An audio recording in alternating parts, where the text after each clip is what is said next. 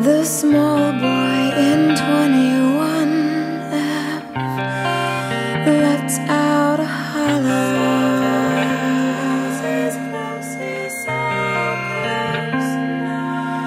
He cries so